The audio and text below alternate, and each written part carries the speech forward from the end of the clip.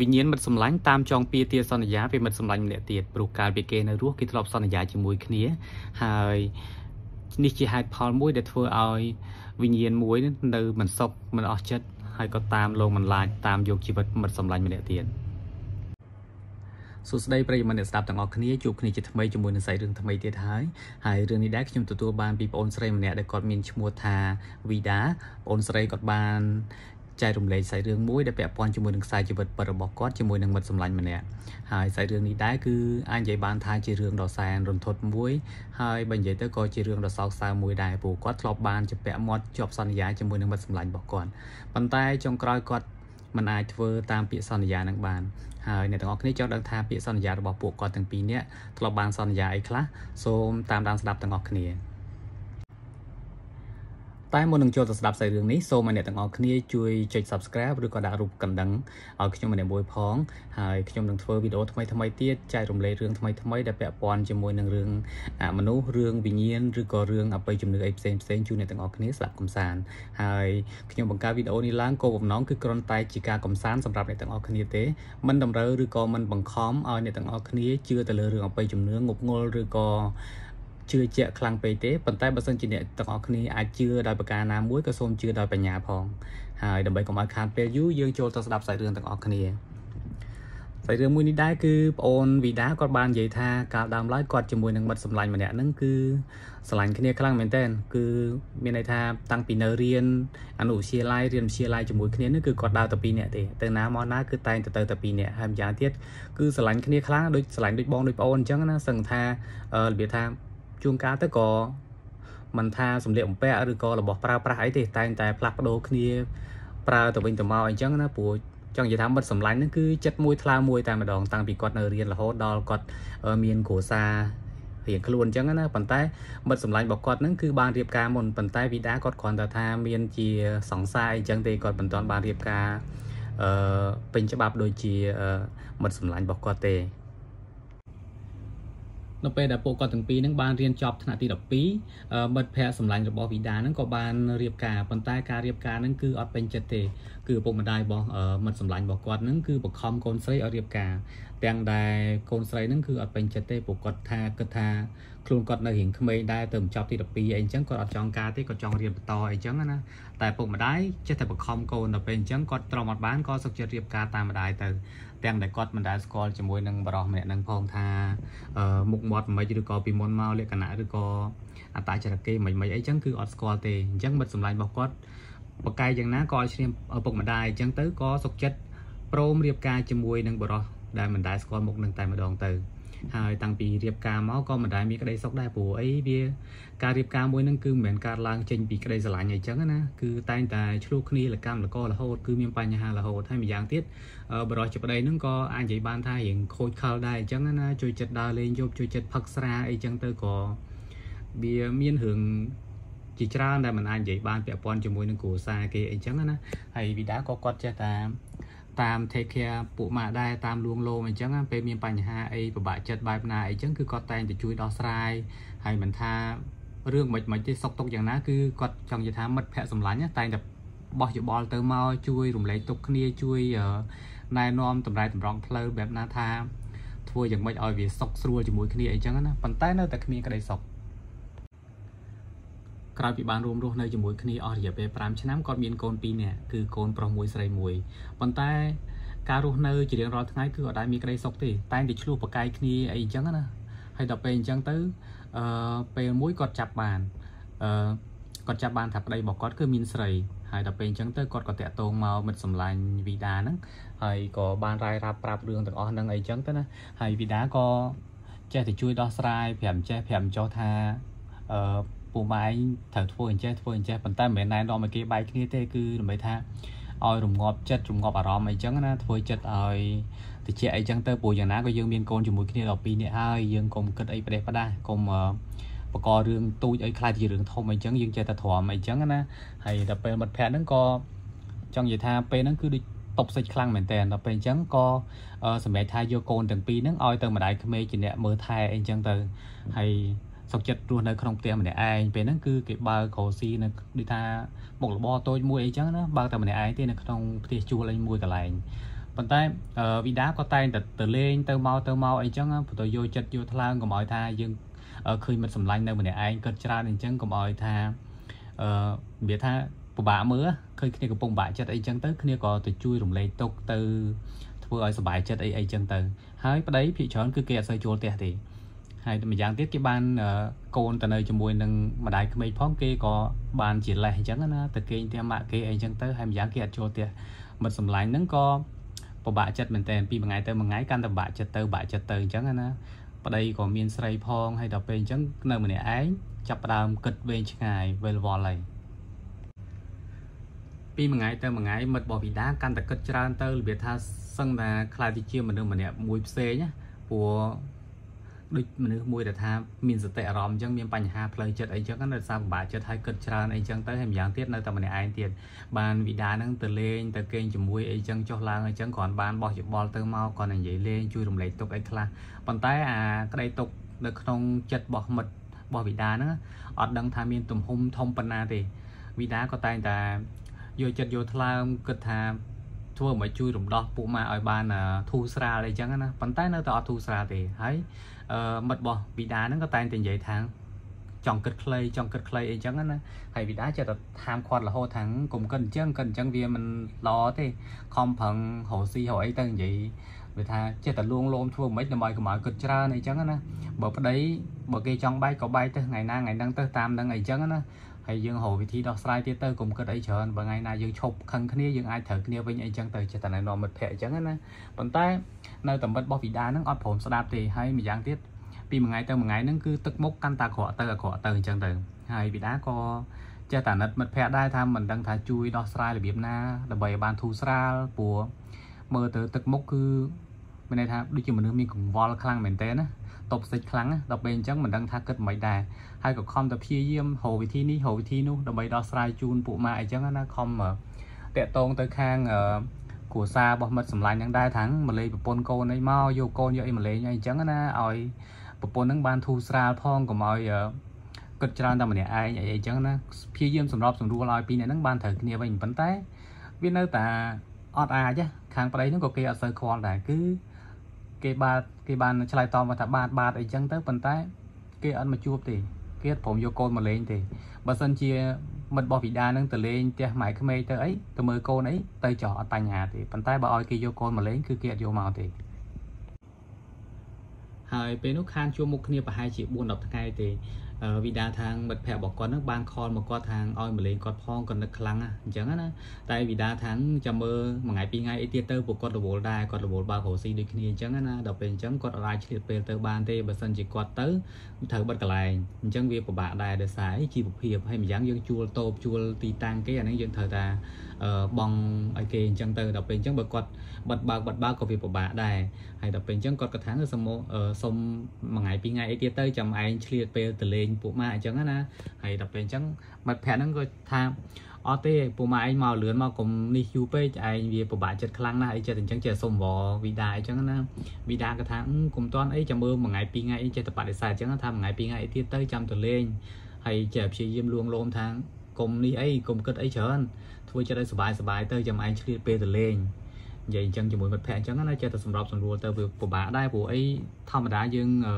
បើក្រោស៊ីរៀងខ្លួនអញ្ចឹងបើសិនជាឆ្លៀតពេលទៅជួបគ្នាវាត្រូវតែបិទកន្លែងបិទទីតាំងអញ្ចឹងវាពិបាកអញ្ចឹងការរកស៊ីហ្នឹងវាមិនអាចទៅមុខទេបើបិទបើកបិទបើកហ្នឹងព្រោះវីដាគាត់បាននិយាយអញ្ចឹងណាហើយម្យ៉ាងទៀត គាត់ថាគាត់អាណិតមិត្តភ័ក្តិដែរប៉ុន្តែដោយសារអីគាត់បើកហាងហ្នឹងគឺគាត់បើកតែម្នាក់ឯងទៀតទៅពេលអញ្ចឹងបើគាត់ទៅអត់មានកូនចៅណាត្រូវនៅចាំកន្លែងទេម្យ៉ាងវាយើងជួកន្លែងគេវាថ្លៃដែរអញ្ចឹងគាត់ត្រូវខំប្រឹងដើម្បីរកចំណូលខ្លះដើម្បីបង់ថ្លៃតូថ្លៃកន្លែងគេអញ្ចឹងណាប៉ុន្តែគាត់ថាអាណិតពូម៉ាក់ខ្លាំងមែនតើព្រោះអីស្រឡាញ់គ្នាខ្លាំងតាំងពីនៅរៀនជាមួយគ្នាអីចឹងប៉ុន្តែវាពិបាកនឹងរែកព្រោះវាមានបញ្ហាទាំងសងខាងទីមួយមិត្តភ័ក្តិវាដឹងថាបញ្ហាធំហើយប៉ុន្តែ បញ្ហាជីវភាពរបស់គាត់ក៏វាសំខាន់ដូចគ្នាអញ្ចឹងគាត់ពិបាកនឹងលៃលោពេលវេលាអីចឹងណាហើយអញ្ចឹងបន្ទាប់ពីនិយាយទូរស័ព្ទជាមួយគ្នាចប់មិត្តរបស់វីដាហ្នឹងក៏បានមីសេចមកថាអឺឯងកុំភ្លេចសន្យាពួកយើងណាហើយដល់ពេលអញ្ចឹងវីដាក៏ចេះឆ្លើយទៅថាអូខេប៉ុន្តែអត់អត់បានចាប់អារម្មណ៍ថាសន្យាហ្នឹងគឺបានសន្យាអីខ្លះជាមួយគ្នាទេអញ្ចឹងគ្រាន់ថានិយាយតែស្ងប់ចិត្តអីអញ្ចឹងណាព្រោះអី វាចង់និយាយថាពេលហ្នឹងអត់បានគិតអីវែងឆ្ងាយបានគិតអីច្រើនអញ្ចឹងអត់ដឹងថាសាយរឿងអីមួយឲ្យប្រកាសសន្យាពីអីអីអញ្ចឹងណាហើយគាត់តែចេះឆ្លើយយកឆ្លើយយកទៅគឺតបសារទៅវិញហ្នឹងដាក់ថាអូខេជាមួយនឹងមិត្តភ័ក្ដិអញ្ចឹងទៅ ហើយបន្តមកទៀតអឺបានពីថ្ងៃក្រោយវីដាក៏អឺសម្រាប់ចិត្តថាទៅលេងមិត្តភ័ក្ដិហើយ ពេលធ្វើដំណើរទៅដល់មុខហាងរបស់មិត្តភ័ក្ដិហ្នឹងវីដាក៏ថាឃើញទ្វារហ្នឹងចាក់សោពីក្នុងហើយដល់ពេលអញ្ចឹងវីដាក៏បានខលតាក់ទងទៅមិត្តភ័ក្ដិអញ្ចឹងណាហើយប៉ុន្តែខលទៅខលអត់ចូលទេហើយវីដាក៏ខំគោះទ្វារពីក្រៅស្រែកហៅមិត្តភ័ក្ដិអីចឹងតែប៉ុន្តែអត់មានលឺសំឡេងនៅខាងក្នុងទេហើយម្យ៉ាងទៀតដូចថាហៅអត់លឺអីចឹងណាស្ងាត់ឈឹងអត់មានមិត្តភ័ក្ដិមកបើកទ្វារឲ្យសោះហើយដល់ពេលអញ្ចឹងវីដាក៏សួរអ្នកចិត្តខាងដែរថាមិត្តភ័ក្ដិគាត់នឹងទៅណាហើយ ឃើញចាក់សពីក្នុងអីចឹងទៅដល់ពេលហ្នឹងអ្នកអ្នកចិត្តខាងនោះក៏បានឆ្លើយតបថាអឺអត់ដឹងដែរឃើញចាក់សោតាំងពីម្សិលមិញម៉េះរហូតដល់ហ្នឹងដល់ថ្ងៃហ្នឹងក៏អត់ឃើញចេញក្រៅដែរដល់ពេលអញ្ចឹងវីដាក៏ឆ្ងល់ថាមិននៅសងំក្នុងផ្ទះធ្វើអីអត់ចាក់សោបើកទ្វារឬក៏បើកហាងអីចឹងណាហើយដល់ពេលអញ្ចឹងខំប្រឹងស្អីហៅទៀតដែរគូសទ្វារទៀតដែរនៅតែអត់មានអ្នកបើក ដល់ពេលអញ្ចឹងវីដាក៏បានតាក់ទងទៅប្តីថាប្រពន្ធគាត់អីហ្នឹងទៅណាទៅណីអីចឹងណាព្រោះអីឃើញចាក់សោពីក្នុងផ្ទះហ្នឹងអត់បើកទ្វារទេហៅមិនក៏អត់លឺដែរទេក៏អត់ចូលអីចឹងទៅដល់អញ្ចឹងបរោះជាប្តីហ្នឹងក៏មកដែរពេលហ្នឹងគេមកហើយក៏គូទ្វារគូអីស្រែកហៅប្រពន្ធអីដែរប៉ុន្តែអត់មានណាគេបើកទ្វារទេដល់ពេលអញ្ចឹងសម្រាប់ចិត្តថាអឺឲ្យអ្នកចិត្តខាងនេះជួយទម្លុះទ្វារហ្នឹងតែម្ដងទៅព្រោះថា បើហៅអត់លឺហើយម្យ៉ាងទៀតវាយូរម៉ោងដែរអញ្ចឹងណាមិនដឹងថាអ្នកខាងក្នុងនឹងមានបញ្ហាអីឬក៏មិនអញ្ចឹងទៅហើយវីដាអត់បានគិតអីវែងឆ្ងាយទេគិតថាមិត្តភក្តិរបស់គាត់នឹងប្រហែលជាឈឺឬក៏ខ្យល់កោអីចឹងណាខ្លាចមានបញ្ហាអីចឹងហើយក៏អត់ឃើញបើកទ្វារសោះប៉ុន្តែដល់ពេលអញ្ចឹងអ្នកជិតខាងនោះក៏បានមកជួយដែរគាស់ទ្វារគាស់អីចឹងទៅស្រាប់តែលបើកទ្វារបានវីដាស្រឡាំងកាំងមែនតើគ្រាន់តែលបើកទ្វារភ្លាមណា វីដាឃើញមិត្តភ័ក្តិសម្លាញ់របស់គាត់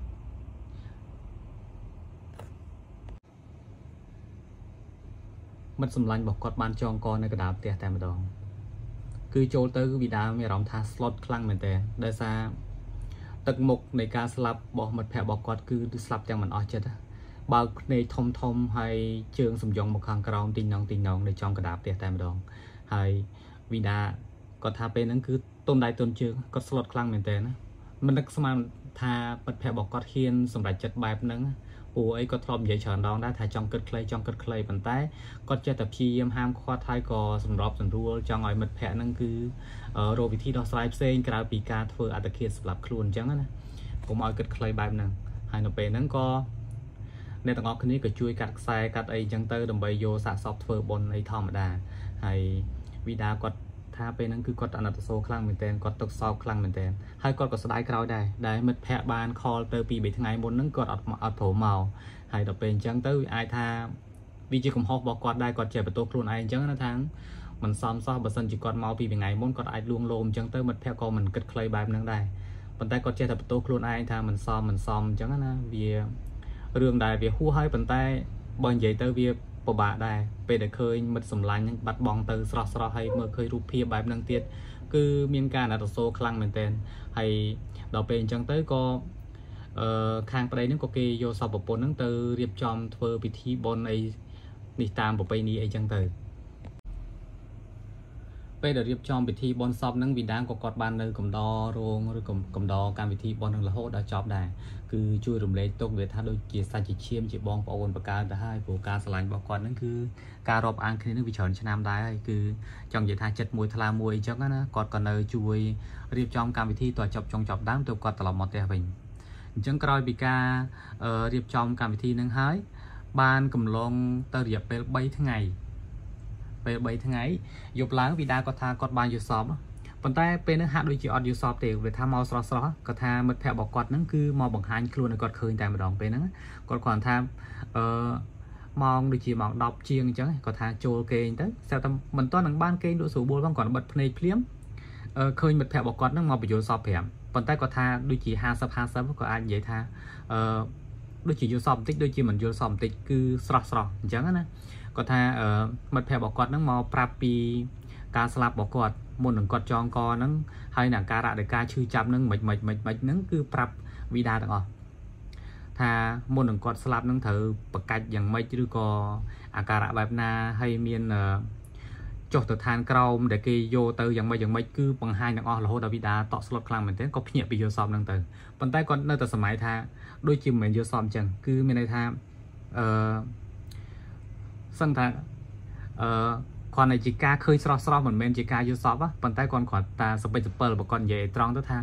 វាអត់ច្បាស់អាចនិយាយថា50 50គាត់ពួកគាត់ថាបិទភ្នែកភ្លាមសម័យឃើញហេតុការណ៍នឹងកើតឡើងភ្លាមអញ្ចឹងវាដូចជាស្រស់ស្រស់ពេកទៅពេលអញ្ចឹងគាត់អត់ជឿលើខ្លួនឯងដែរថាយល់សពឬក៏មិនយល់សពហើយពេលហ្នឹងគាត់ភ័យតក់ស្លុតខ្លាំងមែនទែនដោយសារមិនមែនថាខ្លាចមិត្តភ័ក្តិអីទេគេមកជារូបភាពល្អទេប៉ុន្តែដូចថា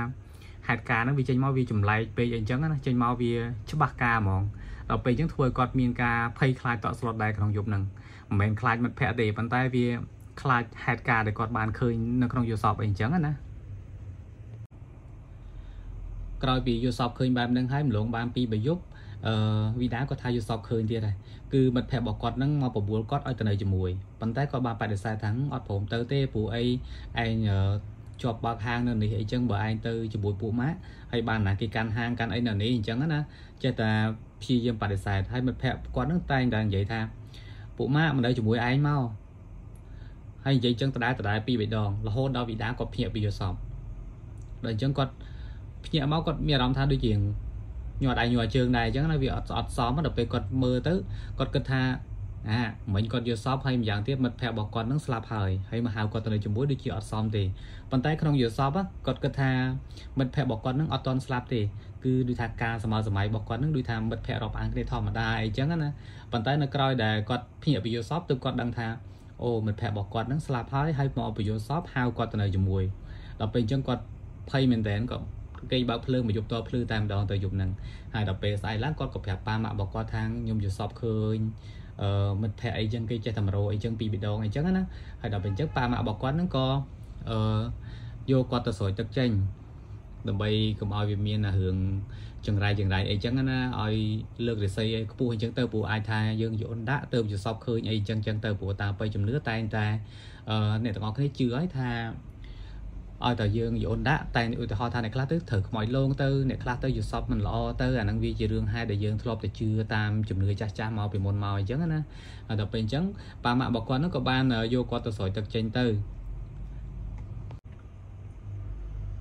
មានពេលមួយនៅពេលដែលគាត់ចេញពីបន្ទប់ទឹកពេលហ្នឹងគាត់ថាប្រហែលជាម៉ោង8 9យប់ហើយព្រោះអីគាត់បិទហាងអីស្រួលអីចឹងទៅគាត់ក៏ចូលងូតទឹកហើយដល់ពេលដែលគាត់ចេញពីបន្ទប់ទឹកភ្លាមស្រាប់តែគាត់ដូចថា ផ្លាស់សម្ភារអំពាអីចឹងគាត់មើលមកមុខហាងមើលមកមុខហាងឃើញកំរាលហ្នឹងហោះដល់ពេលអញ្ចឹងគាត់ថាគាត់ភ័យមែនតើណាបើសិនជាគាត់និយាយប្រាប់គេអាចនឹងមិនជឿតែបើសិនជាពេលសម័យនោះឆ្នាំនោះបើសិនជាគាត់មានកាមេរ៉ាគាត់នឹងអាចបើកឲ្យអ្នកទាំងអស់គ្នាមើលឃើញតែម្ដងព្រោះគាត់ថាគាត់ឃើញច្បាស់នឹងភ្នែកហ្មងលើកនេះមិនមែនមកជាយល់សពទេគឺមក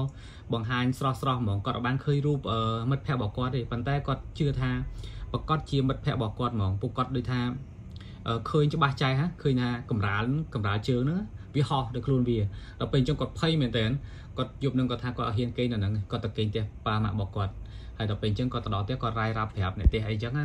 ហើយដល់ពេលហើយអ្នកផ្ទះក៏បានប្រាប់ថាបើសិនជាកន្លែងនេះនៅមិនសុខទេអឺកូនឯងបិទហាងមួយរយៈទៅហើយមកគេងនៅផ្ទះមកព្រោះយើងនៅម្នាក់ឯងវាពិបាកដែរហើយម្យ៉ាងពួកម៉ាក់សម្លាញ់ហ្នឹងគេទៅនឹងស្លាប់អីភ្លាមភ្លាមថ្មីថ្មីអីចឹងវាពិបាកដែរព្រោះ យើងស្រឡាញ់គ្នាសាសនាកន្លែងហ្នឹងគឺធ្លាប់ចេញចូលវាថា ទៅមកដូចផ្ទះគេដែរអញ្ចឹងណាហើយដល់ពេលអញ្ចឹងក៏វីដាក៏គាត់សម្រេចចិត្តថាតាមប៉ាម៉ាក់របស់គាត់គាត់បិទហាងកន្លែងហ្នឹងហើយទៅគេងស្នាក់នៅជាមួយប៉ាម៉ាក់មួយរយៈសិនដើម្បីឲ្យអឺដូចថាគាត់គិតថាមិត្តភ័ក្តិអាចនឹងផ្លេចមុខអីចឹងគេទៅចាប់ជាតិអីចឹងកុំឲ្យមានបញ្ហាអីចឹងណាពួកគាត់នៅម្នាក់ឯងវាពិបាកបើសិនជាយកប្រឡប់មកដូចថាមិត្តភ័ក្តិមកបង្ហាញខ្លួនឬក៏លងអីស្រស់ស្រស់ពេក គាត់អត់ដឹងថាមាននរណាអាចជួយបានទេព្រោះយប់ស្ងាត់តែម្នាក់ឯងចឹងគាត់ក៏ខ្លាចដែរបើអ្នកទាំងអស់គ្នាវិញក៏មានអារម្មណ៍ដូចគ្នាដែរព្រោះអីពេលខ្លះយើងនៅម្នាក់ឯងយើងមិនដឹងថាមានទីពឹងពីណាពីណីទេបើសិនជាមនុស្សដូចគ្នាយើងគិតថាយើងស្រួលអាចនិយាយគ្នាបានប៉ុន្តែមួយជាមនុស្សមួយជាវិញ្ញាណបើសិនជាមានការបង្ហាញខ្លួនបែបហ្នឹងឬក៏ការលងបន្លាចបែបហ្នឹងយើងក៏មិនដឹងថានិយាយគ្នារបៀបម៉េចដោះស្រាយរបៀបម៉េចអាហ្នឹងគឺវាពិបាកមានន័យថា មនុស្សដែលនៅឋានផ្សេងគ្នានៅផ្សេងគ្នាអញ្ចឹងគឺពិបាកឆ្លើយឆ្លងគ្នាមែនទែនមិនដឹងដោះស្រាយបែបណាទេហើយអញ្ចឹងវីដាក៏សុខចិត្តបិទហាងកន្លែងហ្នឹងក៏ទៅស្នាក់នៅជាមួយប៉ាម៉ាក់របស់គាត់មួយរយៈទៅហើយនៅពេលដែលគាត់ស្នាក់នៅមួយពុកម្ដាយរបស់គាត់នឹងបានមួយរយៈពេលគាត់ថាប្រហែលជាខ្ទង់2ទៅ3ខែទេហើយគាត់អបសោកខ្លាំងព្រោះគាត់ធ្លាប់ធ្វើការរកស៊ីបើកហាងអីនៅខាងក្រៅអីចឹងណា គាត់ជាមនុស្សដែលថាអឺអត់ចេះនៅស្នុកទេបើសិននៅផ្ទះនៅអញ្ចឹងវាពិបាកដូចថាអបសុកពេកអីចឹងណាគាត់ក៏រកទីតាំងថ្មីដើម្បីបើកកន្លែងរកស៊ីម្ដងទៀតអញ្ចឹងនៅពេលដែលគាត់បានរកទីតាំងបានហ្នឹងគឺនៅម្ដុំរោងចក្រកន្លែងហ្នឹងគឺមានមនុស្សអ៊ូអដែរអញ្ចឹងណាហើយក៏គាត់យកអឺប្អូនស្រីគាត់ហើយនឹងប្អូនថ្លៃទៅនៅដែរប៉ុន្តែនៅបន្ទប់ផ្សេងគ្នាឬក៏នៅផ្ទះផ្សេងគ្នាគ្រាន់តែក្បែរគ្នាអីចឹងណាដើម្បីជួលរកស៊ីអីចឹងទៅហើយ ពេលមានថ្ងៃមួយហ្នឹងគាត់គ្រាន់តែរើទៅបានត្រឹម2 3ថ្ងៃទេមិនទាន់នឹងបានបើកអីស្រួលបួលផងហ្នឹងគ្រាន់តែរៀបចំអីចឹងទៅពេលហ្នឹងកំពុងរៀបចំហាងដេក័រហាងអីចឹងទៅគាត់ថាគាត់ញ៉ាំបាយថ្ងៃហើយប៉ុន្តែថ្ងៃហ្នឹងមានអារម្មណ៍ថាដូចអស់កម្លាំងខ្លាំងណាអញ្ចឹងគាត់ក៏តម្រេកខ្លួនចុចទូរស័ព្ទលេងអីចឹងអូសទូរស័ព្ទចុះឡើងចុះឡើងអញ្ចឹងទៅស្រាប់តែគាត់កេងលក់នៅពេលដែលគាត់កេងលក់ភ្លាម មិត្តភ័ក្តិរបស់គាត់មកបង្ហាញខ្លួនភ្លាមមកពេលហ្នឹងមកនិយាយថាអញរកឲ្យឃើញឲ្យពូម៉ានៅពេលដែលគាត់ងាកទៅ គឺគាត់ភ្ញាក់ផ្អើលស្រឡាំងកាំងខ្លាំងមែនតើដោយសារមកលើកនេះគឺរូបអាក្រក់ខ្លាំងមែនតើមុខសិតតែឈាមមុខដូចឆ្កែបន្តិចដូចបិសាចបន្តិចគាត់ថាពេលហ្នឹងគឺគាត់ភ័យតក់ស្លុតខ្លាំងមែនតើណាព្រមទាំងដូចថាកែវភ្នែកចេញមកគឺកំណាចដាក់គាត់ហ្មង គឺសម្លឹងមកគាត់ហ្នឹងគឺដូចថាជាមនុស្សខឹងគ្នា មិនមែនចេញមករូបភាពស្អាតបាតដូចកាលមុនទេគឺលើកនេះគឺសាហាវខ្លាំងមកភ្នែកក្រហមមុខសិតតែឈាមហើយមុខដូចបិសាចបន្តិចដេកអីបន្តិចគាត់ថាគាត់ភាំងមែនទែនពេលហ្នឹងគាត់ភ្ញាក់ខ្លាំងភ្ញាក់ព្រឺតហ្មងដល់ពេលអញ្ចឹងគាត់ថាសូម្បីតែកណ្ដាលថ្ងៃចេះមកឲ្យស្រស់ស្រស់អញ្ចឹងគាត់បែកញើសជោគតែម្ដងគាត់ថាគាត់ភ័យមិនដែលឃើញអឺសភាពអីប្លែកអញ្ចឹងណាព្រោះអីមករដងចេញមករូបភាពស្អាតបាតដល់ពេលអញ្ចឹងក៏អត់សូវខ្លាចទេប៉ុន្តែលើកនេះគឺខ្លាចខ្លាំងហ្មងប៉ុន្តែ ចំពេលថ្ងៃត្រង់ណាបើសិនជាពេលយប់វិញក៏ថាមិនដឹងជាខ្លាចបែបណាទេព្រោះពេលហ្នឹងពេលថ្ងៃឯងនៅភ្លឺចេះស្រាប់តែហ៊ានបង្ហាញខ្លួនឲ្យគាត់ឃើញអញ្ចឹងណាហើយបន្ទាប់ពីពេលថ្ងៃហ្នឹងមកគាត់ក៏បានរៀបចំហាងបដៅបដៅរហូតទៅប្រហែលជាខ្ទង់ថាអាចមួយសប្តាហ៍អីចឹងទៅហាងរបស់គាត់ហ្នឹងក៏ដេករៀបចំស្រួលបួលអីចឹងណាហើយដល់ពេលអញ្ចឹងគាត់ក៏ថាហៅពេលវេលាមួយសម្រាប់ហៅមិត្តភ័ក្តិហើយប៉ាម៉ាក់របស់គាត់អីហ្នឹងញ៉ាំអីជុំគ្នានៅពេលល្ងាចហ្នឹងតែម្ដងទៅព្រោះយើងដូចថាអឺ ជាការជប់លៀងបើកហាងអីចឹងមិនមែនជាហាងធំអីណាស់ណាប៉ុន្តែគ្រាន់ថាអឺយើងញ៉ាំអីតាមលក្ខណៈមិត្តភ័ក្តិរបស់យើងឬក៏ជាមួយប៉ាម៉ាក់គាត់អីចឹងបងប្អូនរបស់គាត់អីចឹងណាហើយដល់ពេលអញ្ចឹងញ៉ាំលេងរហូតដល់ម៉ោង9ម៉ោង10យប់ស្រាប់តែពេលអង្គុយញ៉ាំបដាបដាអញ្ចឹងទៅគាត់ក៏លេចទៅខាងក្រៅឃើញមិត្តភ័ក្តិរបស់គាត់នឹងឈរនៅខាងក្រៅឈរសម្លក់គាត់ហ្មងគាត់ថាពេលនឹងគាត់ភ័យមែនតើណាឃើញនឹងគឺឃើញស្រស់ស្រស់ហ្នឹងមិនមែនជាការយល់សពទេណា មិត្តភ័ក្តិរបស់គាត់ស្លៀករ៉ូបសឈរសម្លក់មកគាត់ដល់ពេលអញ្ចឹងគាត់ថាគាត់ព្រឺខ្លាំងមែនតើណាហើយគាត់ខំប្រឹងព្យាយាមថាងស្វាងភ្នែកឬក៏ព្រិលភ្នែកទៅដឹងគាត់ជូតភ្នែកមើលជូតជូតហើយគាត់ងាកទៅម្ដងទៀតឃើញមិត្តភ័ក្តិរបស់គាត់ហ្នឹងនៅឈរសម្លក់ដដែលទៀតគាត់ថាអូមិនសាហាវហ្មងហើយមកឈរសម្លក់អីអញ្ចឹងហើយអឺចង់និយាយថារាល់ដងមកជាការយល់សពឲ្យឃើញនៅក្នុងសម្បត្តិទេប៉ុន្តែលើកនេះគឺមកបង្ហាញខ្លួនស្រស់ស្រស់តែម្ដង ហើយដល់ពេលអញ្ចឹងគាត់ក៏អត់ដឹងធ្វើមិនទេគាត់សុខចិត្តងាកមុខចេញងាកធ្វើអត់ឃើញអញ្ចឹងណាដល់ពេលអង្គុយបានមកផ្លេទៀតគាត់ងាកទៅខាងក្រៅទៀតមកកាន់តែចិត្តនៅក្បែរមាត់ទ្វារគាត់តែម្ដងតែចូលក្នុងអត់បានទេដោយសារក្នុងផ្ទះគាត់គាត់គិតថាប្រហែលជាមានជំនាញផ្ទះព្រោះគាត់រៀបចំគាត់ធ្វើជំនាញផ្ទះថ្មីអីរៀបចំសែនព្រេនឲ្យគេស្រួលបួលអីចឹងណាប្រហែលជាជំនាញផ្ទះអត់ឲ្យចូលក្នុងផ្ទះដល់ពេលអញ្ចឹងគាត់ក៏លេចទៅឃើញឈរនៅមាត់ទ្វារហ្នឹងហ្មង ទាំងដែលបើកភ្លើង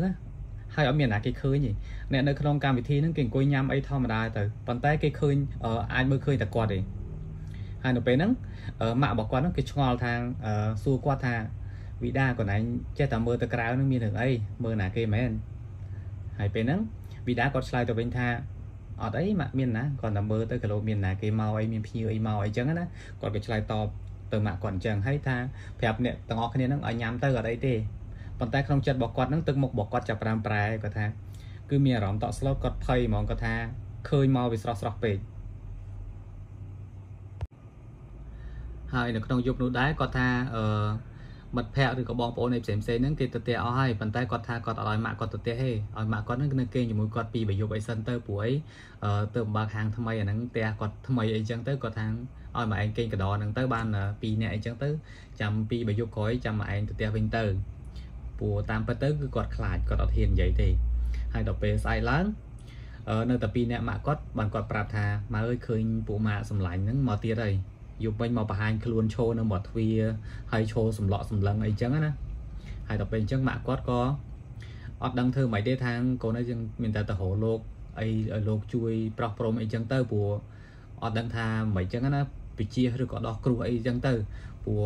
គាត់អត់ដឹងថាហៅវិធីមិនដែរព្រោះអីវា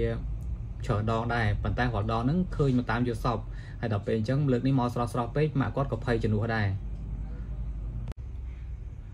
ក្រោយពីភាសាជាមួយម៉ាក់គាត់ហើយគាត់ក៏រកពេលវេលាទៅវត្តដើម្បីធ្វើបន់ធ្វើទានដូចថា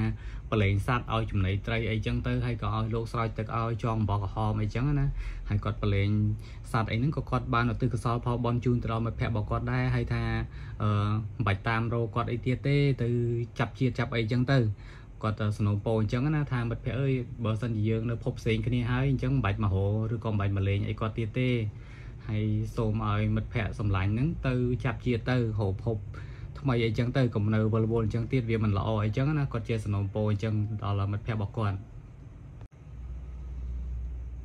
ហើយប្រហែលថ្ងៃក្រោយមកទៀតអឺក៏មានពិធីជប់លៀងអីមួយដែរមិនមែនធំទេចង់និយាយថាអឺពេលហ្នឹងគឺគាត់ដូចថាធ្វើអីញ៉ាំនៅផ្ទះអញ្ចឹងណាព្រោះជាកម្មវិធីរបស់ប្អូនហ្នឹងគឺ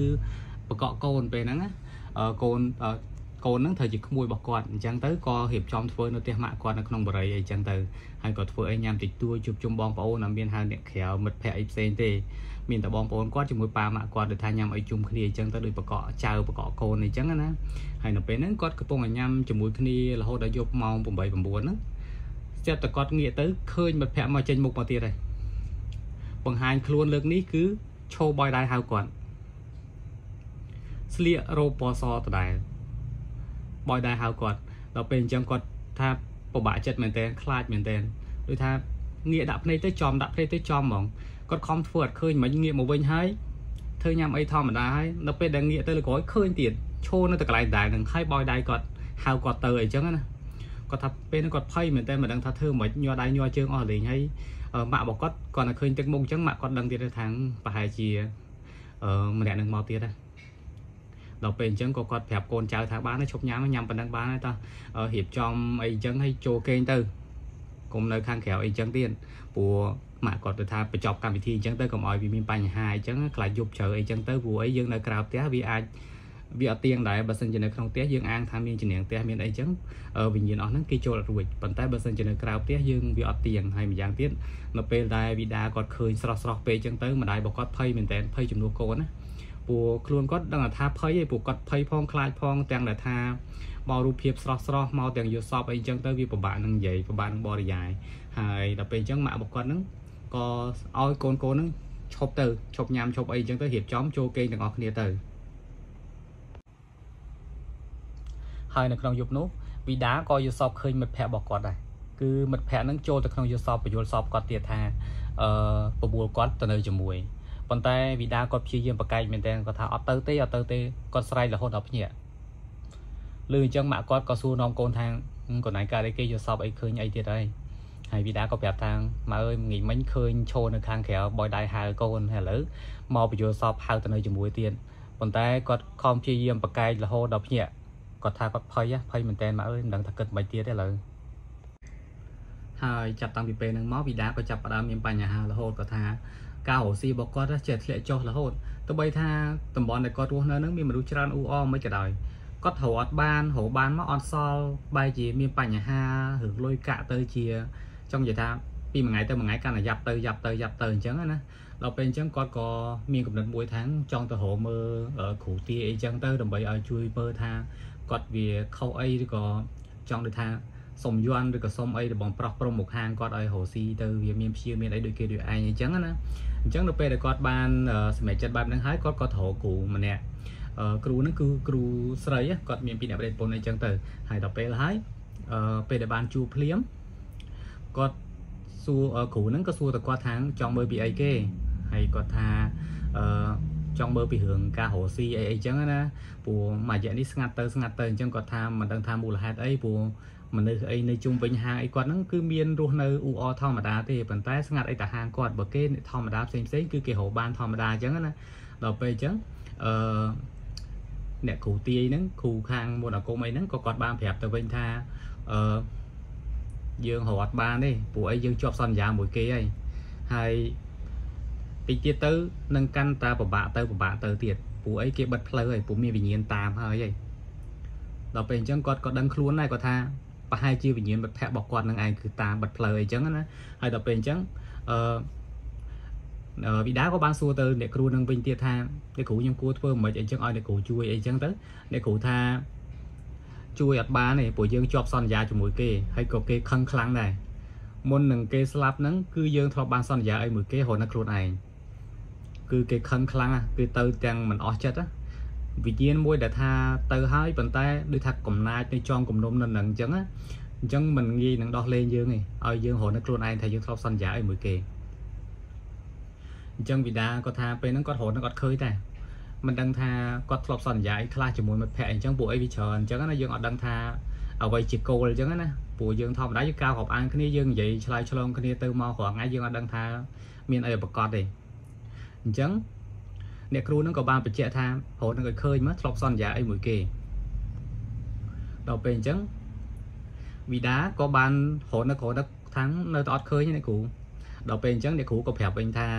នៅពេលដែលគាត់បិទភ្នែកទៅគាត់អឺតាក់ទងជាមួយវិញ្ញាណហ្នឹង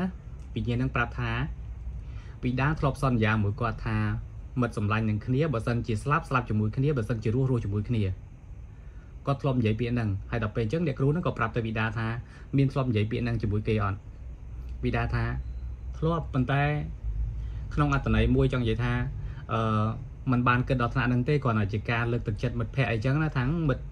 បើថាស្លាប់រស់ជាមួយគ្នាអីចឹងទៅកុំកុំគិតអីវែងឆ្ងាយកុំឲ្យហើយក៏មិនមែនមានន័យថាជំរុញឲ្យមិត្តភ័ក្តិហ្នឹងទៅសម្លាប់ខ្លួនអីដែរគឺគ្រាន់ថាអឺជាការលួងលោមអីចឹងណាហើយដល់ពេលចឹងអ្នកគ្រូថាឥឡូវយើង អត់ដឹងថាធ្វើមិនទេព្រោះអីគេខឹងខ្លាំងណាមានតែអឺរៀបចំធ្វើបន់ឲ្យគេអញ្ចឹងទៅឧទ្ទិសកុសលអីចឹងទៅធ្វើចង្ហាន់ធ្វើអីចឹងគេលោកឧទ្ទិសកុសលឲ្យគេទៅដើម្បីឲ្យគេរំសាយទុកអីចឹងណាហើយអ្នកគ្រូក៏ថាគាត់អាចជួយបាននេះអត់អាចទៅកំចាត់វិញ្ញាណអីគេបានទេព្រោះអីយើងធ្លាប់ជំពាក់ពាក្យសម្ដីជាមួយគេជំពាក់សន្យាគេអញ្ចឹងគាត់អាចធ្វើអីទៅបំពេញគេលើបាននឹងលើលើនឹងបានទៀតអញ្ចឹងណា ចឹងហើយពេលត្រឡប់មកវិញបិតាក៏ធ្វើតាមសម្ដីអ្នកគ្រូដែរគាត់បានធ្វើចង្ហាន់ធ្វើអីប្រគេនលោកអីចឹងទៅទិកសលឲ្យមិត្តភ័ក្តិហើយក៏តែងតែឲ្យធូបន់ស្រន់ថាមិត្តភ័ក្តិអើយសូមមហោសកម្មឲ្យគ្នាផងអីចឹងទៅព្រោះអីអឺគ្នាវាបានជាជ្រុលពាក្យអញ្ចឹងហើយអញ្ចឹងអត្តន័យហ្នឹងក៏មិនមែនមានន័យថាប្របួនមិត្តភ័ក្តិទៅសម្រាប់ខ្លួនអីដែរចង់និយាយថាគឺភាសាលួងលោមដើម្បីឲ្យមិត្តភ័ក្តិនឹងរំសាយទុកអីទេខំប្រឹងប្រយ៉ាយបញ្យលពួកម៉ាអីចឹងណាហើយដល់ពេលអញ្ចឹង ក៏បាត់មួយរយៈទៅនៅពេលដែលគាត់ព្យាយាមធ្វើបន់ធ្វើទៀនហើយនឹងបន់ស្រន់លួងលោមប្រាប់មិត្តភ័ក្តិកុំឲ្យដូចថាខឹងសម្បាឲ្យលើកទោសឲ្យគាត់អីចឹងណាពាក្យសន្យាទាំងបាម៉ានហ្នឹងគឺគ្រាន់តែជាការលួងលោមទេមិនមែនមានន័យថាជំរុញឲ្យមិត្តភ័ក្តិហ្នឹងគិតខ្លីធ្វើអំពើបែបហ្នឹងទេដល់ពេលអញ្ចឹងគាត់ក៏បាត់មួយរយៈទៅប្រហែលជាខ្ទង់កន្លះឆ្នាំអីក្រោយដល់ពេលកន្លះឆ្នាំក្រោយវីដាគាត់ថា ឃើញមិត្តភ័ក្តិមកទៀតដែរមកលើកនេះគឺរូបរាងអាក្រក់ហើយខ្លាចខ្លាំងមែនតើដោយសារអីមុខមាត់សុទ្ធតែឈាមស្លៀករ៉ូបពណ៌សដដែលប៉ុន្តែភ្នែកក្រហមសម្លក់សម្លឹងមកគាត់គឺឃើញច្បាស់នឹងភ្នែកតែម្ដងហើយដល់ពេលអញ្ចឹងគាត់ក៏បានទៅជួបអ្នកគ្រូនឹងដដែលទៀតគាត់ថាអ្នកគ្រូខ្ញុំបាត់មិត្តភ័ក្តិទៅប្រហែលជាកន្លះឆ្នាំហើយឥឡូវឃើញគេមកទៀតហើយអត់ដឹងថាមានរឿងអីទៀតទេដល់ពេលអញ្ចឹងអ្នកគ្រូក៏បានបិទភ្នែកហើយក៏មើលអីអញ្ចឹងណាហើយក៏ប្រាប់ទៅវីដាវិញថាតាមពិតទៅវិញ្ញាណមួយហ្នឹងណា នៅពេលដែលយើងបានធ្វើបន់ធ្វើទានឲ្យគេគេក៏បានទទួលដែរហើយពេលហ្នឹងគេបានទៅចាប់ជាតិចូលក្នុងផ្ទៃរបស់គេហ្នឹងពីរដងហើយប៉ុន្តែដោយសារអីអឺមកពីវិញ្ញាណមួយហ្នឹងគឺមានកម្មក្រាស់គឺដោយសារតែធ្វើអត្តឃាតខ្លួនឯងដល់ពេលអញ្ចឹងទៅនៅអត់បានធ្វើឲ្យផ្ទៃរបស់គេហ្នឹងក្តៅហើយស្លាប់នៅក្នុងផ្ទៃរបស់គេដល់ទៅ2ដងទៀតដល់ពេលអញ្ចឹងទៅដូចថាមិនដឹងថាវិញ្ញាណហ្នឹងគិតមិនទេបែរជាខឹងចងគំនុំទៅលើវិដាវិញទៀតខឹងលើដើមទៀតថាដូចថា ស្ដាយក្រោយដូចថាបានសម្លាប់ខ្លួនហើយឥឡូវចង់ទៅចាប់ជាតិចាប់ជាតិអត់បានទៀតព្រោះស្លាប់នៅក្នុងផ្ទៃរបស់គេហ្នឹងដល់ទៅ2ដងហើយគឺផ្ទៃអ្នកផ្សេងគ្នាអញ្ចឹងណាមនុស្សពីរអ្នកផ្សេងគ្នាព្រោះធ្លាប់បានពោពោះហើយប៉ុន្តែបែរជាស្លាប់វិញដោយសារផ្ទៃរបស់គេហ្នឹងក្តៅឧទាហរណ៍ថាវាថាគាត់ដូចថាមានកម្មក្រាស់អញ្ចឹងណាតោងទៅលើផ្ទៃរបស់គេអត់បានដល់ពេលអញ្ចឹងទៅធ្វើឲ្យគាត់នឹងវិនិច្ឆ័យហើយក៏ស្លាប់នៅក្នុងក្នុងពោះរបស់ម្ដាយទាំងពីរហ្នឹងដែរហើយដល់អញ្ចឹង បែរជាមានគំនិតខឹងវិញ្ញាណមួយហ្នឹងគំនិតខឹងមកបកមករោវីដាវិញថាធ្លាប់សន្យាជាមួយគ្នាហើយបែរជាក្បត់សន្យាហើយដល់ពេលអញ្ចឹងធ្វើឲ្យគាត់គិតខ្លីបន្ទាប់ពីគិតខ្លីហើយចង់ទៅចាប់ជាតិក៏ចាប់ជាតិអត់បានដែរខ្លាយទៅជាវិញ្ញាណដ៏អាក្រក់ដ៏កាចសាហាវទៀតដល់ពេលអញ្ចឹងទៅ គឺវីដាគាត់ថាអឺជីវិតរបស់គាត់ដូចរបៀបថាជាប់ក្នុងបដាសាអីចឹងណាគាត់និយាយថាពិបាកមែនតើរាល់ថ្ងៃហ្នឹងគឺ គាត់មានដូចថាមានទុកព្រួយផងពេលខ្លះក៏យល់សពឃើញទៅពេលខ្លះក៏ឲ្យឃើញស្រស់ស្រស់អញ្ចឹងទៅអញ្ចឹងដូចថា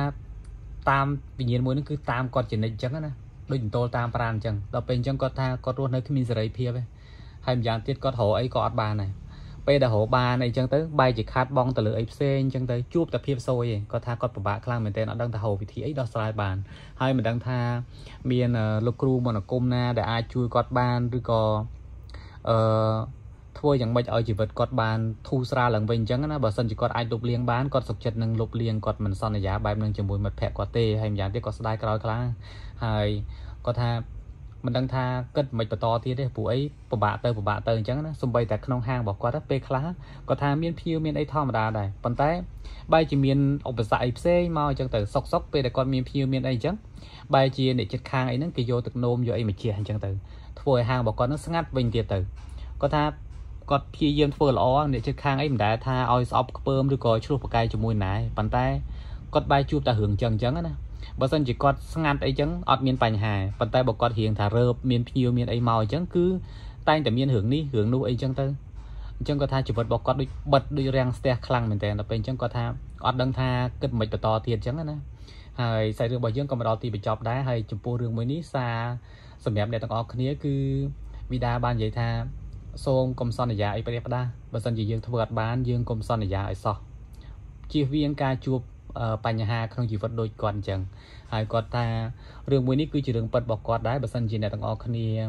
អឺបានជួបប្រទេសបែបហ្នឹងក៏មិនដឹងថាដោះស្រាយបែបណាហើយបើសិនជាមានច្រកចេញបែបណាអ្នកទាំងអស់គ្នាអាចតម្លាក់ជា comment មួយសម្រាប់ឲ្យគាត់គាត់នឹងអាចថាធ្វើតាមអ្នកទាំងអស់គ្នាក៏បានព្រោះពេលខ្លះគាត់ដូចថាតល់ខ្លាំងមែនតើណា អត់ដឹងថាដោះស្រាយបែបណាចេញអញ្ចឹងណាគាត់ដូចថាពិបាកដូចគ្នាហើយគាត់ក៏មិនបានមានន័យថាសន្យាបែបហ្នឹងគឺជាសន្យាដែលអឺពិបាកអីទេប៉ុន្តែចង់គ្រាន់ថាជាការសន្យាដ៏ល្អទេប៉ុន្តែបាយជាមិត្តភ័ក្តិរបស់គាត់នឹងចង់និយាយថាមកពីគាត់ខ្លួនឯងគាត់មកបាំងអីចឹងទៅគាត់គិតខ្លីអាហ្នឹងដោយសារតែគាត់វាតប់សិចខ្លាំងពាក់ព័ន្ធជាមួយរឿងគ្រួសាររបស់គាត់អញ្ចឹងទៅគាត់គិតគិតគិតអ្វីមិនឃើញក៏គាត់សម្រេចចិត្តគិតខ្លីអញ្ចឹងទៅប៉ុន្តែ ចំពោះវីដាវិញគាត់ថាវាមិនមែនជាកំហុសរបស់គាត់ទាំងស្រុងទេព្រោះអីគាត់មិននឹកស្មានថាពាក្យសន្យាបែបហ្នឹងវាធ្វើឲ្យបុគ្គលម្នាក់អឺអាចថាមានបញ្ហាអញ្ចឹងឬក៏គេគិតថាអ្វីជាធ្ងន់ធ្ងរបែបហ្នឹងអីចឹងណាគាត់ថាគាត់គិតរកឃើញហើយម្យ៉ាងទៀតបរិយានេះគឺគាត់ពិបាកចិត្តដូចគ្នាប៉ុន្តែអត់ដឹងថាគួរធ្វើមិនទៅត ហើយចំពោះសាច់រឿងមួយនេះក៏មកដល់ទីបញ្ចប់ផងដែរសង្ឃឹមថាអ្នកទាំងអស់គ្នាបានស្ដាប់សាច់រឿងមួយនេះហើយក៏អាចនឹងមានជាមតិយោបល់មួយអាចជួយដោះស្រាយដល់វីដាផងព្រោះអីគាត់ពិបាកខ្លាំងមែនទែនដោយសារអ្វីដែលកន្លងហួសទៅវាមិនល្អហើយក៏អាចដុតដាមរហូតដល់បច្ចុប្បន្នបច្ចុប្បន្នផងដែរអញ្ចឹងសង្ឃឹមថាអ្នកទាំងអស់គ្នាស្ដាប់សាច់រឿងមួយនេះហើយក៏ចាត់ទុកជាការកំសាន្តផងក៏អាចជាបទពិសោធន៍ថ្មីថ្មីផង ហើយក៏ពាក់ព័ន្ធជាមួយរឿងអំពើជំនឿអីមិនតម្រូវឲ្យអ្នកទាំងអស់គ្នាជឿជាក់អី100%ទេបើសិនជាអ្នកទាំងអស់គ្នាជឿក៏ជឿដោយបញ្ញាទៅខ្ញុំនិយាយពាក្យនេះគឺដដែលដដែលទេមិនចង់ឲ្យអ្នកទាំងអស់គ្នាអឺងប់ងល់ទៅលើអបិយជំនឿឡើយហើយម្យ៉ាងទៀតចាត់ទុកថាវីដេអូនេះគ្រាន់ជាការកំសាន្តទៅបានហើយហើយនៅក្នុងរាត្រីនេះដែរសូមជូនពរអ្នកទាំងអស់គ្នាគេងលក់សុបិនល្អជួបគ្នានៅរាត្រីថ្ងៃស្អែកទៀតរាត្រីសួស្តី